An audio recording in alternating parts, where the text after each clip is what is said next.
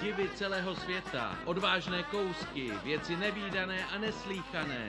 Poslední turné cirkusu Majer. Přes den je docela zábavné je pozorovat. Jejich vypělichané potvory. Chceme se dnes rozloučit s panem Antonínem. Takže tímhle okamžikem platí tahle závěť. Vy víte, co tam je? Tak kam, mladá paní? Kde ho budete mít? To je dárek od mého muže. Volno. To je spíš na psa, ne? Proč jednou neuděláš to, co chceš ty? A ne to, co ti naplánoval táta. A ty víš, proč to táta udělal? Asi protože jsem se konů vždycky dost bála. Přitom se mi strašně líbili. Zkuste to. Já se ho nebojím. To on se bojí mě. Z kozy na koně.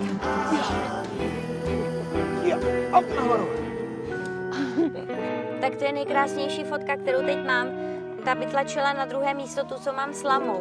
Ale na té se samozřejmě nedalo jezdit. Ježíš Maria! Jste normální? To okamžitě slez dolů. To je prostě naprostý šílenství. Jízda na koni je o 14% bezpečnější než lyžování. A lyžovat tam dovolíš. A to si vzala kde ty procenta? Nech to, slyšíš? Na tohle zvíře chcete sednout? Potvora vás jednou zabije. Blbeček to byl, věď. Mami, starý cirkusový kůň a bláznivá matka.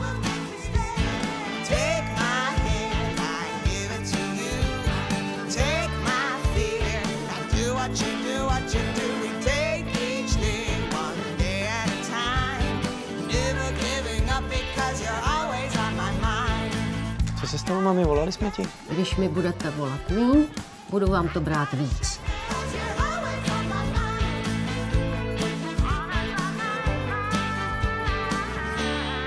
Ona na něm normálně jezdí. A to je dobře nebo špatně?